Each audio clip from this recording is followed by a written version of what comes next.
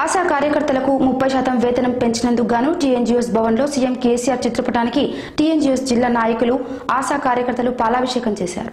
ఈ సందర్భంగా వారు మాట్లాడుతూ ముప్పై శాతం జీతం పెంచినందుకు కృతజ్ఞతలు తెలుపుతూ వాహన సౌకర్యం కల్పించాలని స్మార్ట్ ఫోన్ ఇవ్వాలని ఇన్సూరెన్స్ కల్పించాలని పనిభారాన్ని తగ్గించాలని కోరుతూ సీఎం కేసీఆర్కి హరీష్ రావుకి జిల్లా మంత్రి జగదీశ్వర్ రెడ్డికి స్థానిక శాసనసభ్యులు కంచెల భూపాలరెడ్డికి కొండలరావుకి ప్రభుత్వ అధికారులకు టీఎన్జీఎస్ నాయకులకు కృతజ్ఞత తెలిపారు.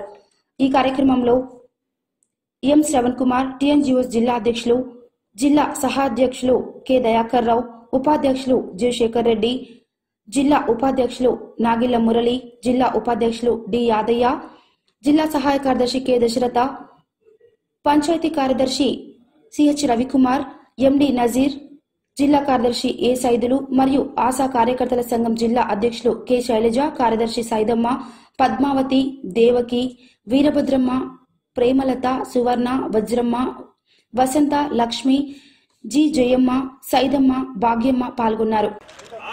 వర్దిల్లాలి ఆశా వర్కర్ల ఐక్యత. ఆశా వర్కర్ల ఐక్యత. ఆశా వర్కర్ల ఐక్యత. టిఎన్జిఓస్ యూనియన్ పక్షాన అదేవిధంగా ఎంప్లాయీస్ జేఏసీ పక్షాన మా అందరి కోరిక మేరకు గౌరవ ముఖ్యమంత్రి గారు మరి అందరికీ థర్టీ పర్సెంట్ శాలరీస్ని హైక్ చేస్తూ అదేవిధంగా అరవై ఒక్క సంవత్సరాల వయో పరిమితిని పెంచుతూ అత్యద్భుతమైన నిర్ణయం ఉద్యోగస్తులకు ఒక బ్రహ్మాండమైన కానుకగా ఇవ్వడం జరిగింది. అయితే తెలంగాణ పోరాటం చేస్తే ఏమొస్తుంది? తెలంగాణ వచ్చిన తర్వాత ఏమొస్తుంది? అనంటే ఆ రోజు కొట్లాడిన ఉద్యోగస్తులకు ఇట్లాంటి బంగారం లాంటి ఫలాలు వస్తాయి అనేది ఈ సమాజానికి తెలియజేయడం జరిగింది.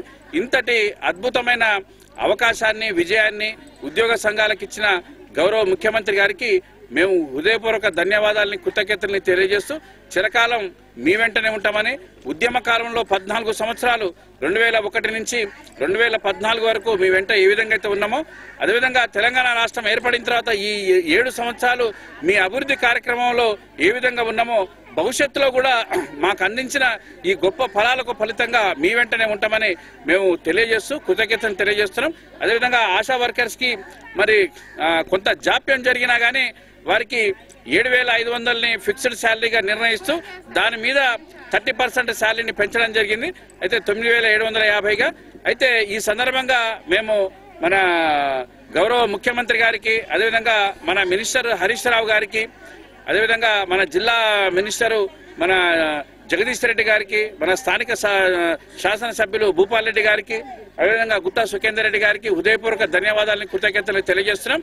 అయితే ఈ సందర్భంగా ఏంటంటే తొమ్మిది వేల ఏడు వందల యాభై రూపాయలని ఫిక్స్డ్గా ఇవ్వాలని ఎందుకంటే ఈ పనికి ఇంత అనేది ఎందుకంటే అనేది అది సమంజసం కాదని ఎందుకంటే వీళ్ళు దాదాపు పదిహేను నుంచి పద్దెనిమిది సంవత్సరాల నుంచి పనిచేస్తున్నారు. అట్లాంటి వాళ్ళకు ఫిక్స్డ్ వేతనంగా తొమ్మిది వేల ఏడు వందల యాభై ఇవ్వాలని అదేవిధంగా వీళ్ళకి ఇన్సూరెన్స్ సౌకర్యం కల్పించాలి అదేవిధంగా ఏఎన్ఎంలు అట్లా ఏదైనా కోర్సులు చేసిన వాళ్ళకి ఏఎన్ఎంలో కానీ స్టాఫ్ నర్స్గా కానీ ప్రమోషన్లు కల్పించాలి. అదేవిధంగా వీళ్ళు మరి కరోనా సమయంలో మన ఇంట్లో ఎవరికైనా కరోనా వస్తే పక్క రూమ్లో పెట్టి వాళ్ళకి అవపడకుండా అన్నాలు అదేవిధంగా టాబ్లెట్స్ ఇచ్చిన సందర్భం ఉంది మన కుటుంబాలలో.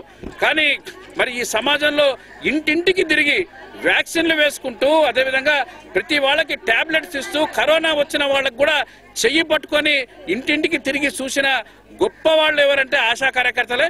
వాళ్ళు ఇవాళ తెలంగాణ సమాజానికి ఒక కఠినమైన కరోనా పరిస్థితులలో ఒక తల్లిలాగా ప్రవర్తించిన వాళ్ళు టోటల్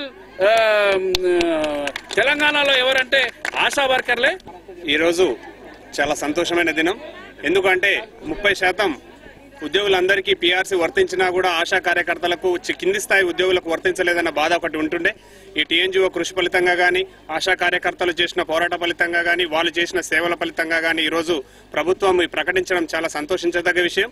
అదేవిధంగా దీనికి తోడు ఈ ఆశా సమస్యలన్నింటినీ కూడా ఒకటి ఒకటిగా పరిష్కరిస్తారని హరీష్ రావు మీద మాకు నమ్మకం ఉంది. ఖచ్చితంగా వాళ్ళు పరిష్కరిస్తారని మరొకసారి కోరుకుంటున్నాం. ఎందుకంటే ఈ మధ్యలో సిమ్ములు ఇస్తున్నారు. సిమ్ములు ఇస్తున్నారు కానీ సిమ్ములు వేసుకోవడానికి కనీసం ఫోన్లు లేవు. ఆ ఫోన్లు అంటే మన ఆ ఫోన్లు కూడా వాళ్ళు ఇప్పియాలి. అదేవిధంగా అన్న చెప్పినట్టు వాహన సౌకర్యం ఇప్పియాలి. అదేవిధంగా ఇప్పుడు ఈ మధ్యలో కరోనా టైంలో ఆశా కార్యకర్తలు ఎవరైనా చనిపోతే మన ఫిఫ్టీ ల్యాక్స్ ఇన్సూరెన్స్ వస్తుంది. ఆ ఇన్సూరెన్స్ కూడా ముందు ముందు కూడా కొనసాగించాలి. ఎందుకంటే ఒక కోవిడ్ టైంలోనే కాకుండా వాళ్ళని వాళ్ళ కుటుంబాలను అన్ని విధాలా ఆదుకోవాలని మరొకసారి కోరుకుంటూ ఈ థర్టీ పర్సెంట్ పెంచిన ఆశా కార్యకర్తలకు జీతాలు పెంచిన ప్రభుత్వానికి మరొకసారి ధన్యవాదాలు తెలియజేసుకుంటూ సెలవు తీసుకుంటాం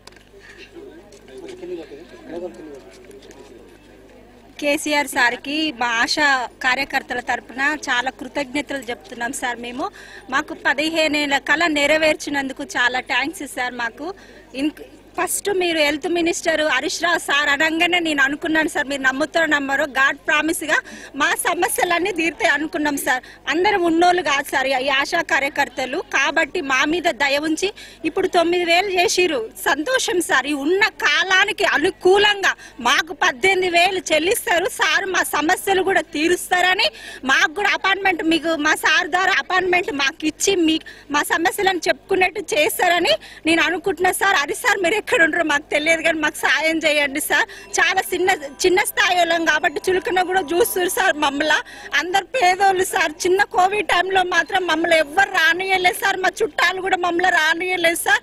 అయినా కూడా మేము మొండి ధైర్యంతో మేము ముందుకెళ్ళి మా ఫ్యామిలీని పణంగా పెట్టి మేము డ్యూటీ చేసినాం సార్. కేసీఆర్ సార్కి నమస్కారం సార్.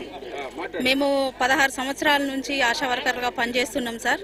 ప్రతి పనికి మేము చేస్తున్నాం సార్. ఏ పని కూడా మేము చేయను అనడం లేదు సార్.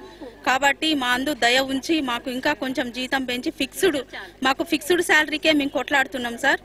మాకు వెయ్యి రెండు వందల యాభై జీతాల కాంచి ఇంత దూరం వచ్చాం సార్. సంవత్సరానికి ఇంత పెంచినా కూడా మేము ఒక స్థాయిలో ఉండేవాళ్ళం. దయచేసి మా అందు దయ ఉంచి సార్ మాకు ఫిక్స్డ్ శాలరీ ఇచ్చి మాకు పద్దెనిమిది వేల రూపాయలు చేయండి సార్. ఈరోజు సామాను సామాన్ కొనాలంటే కూడా సరిపోని పరిస్థితి సార్. ఒక నలుగురు బతకాలంటే మీరు ఆలోచించి మా అందు దయ ఉంచి మాకు ఫిక్స్డ్ జీతం చేయండి సార్. పద్దెనిమిది వేల రూపాయలు చేయండి సార్.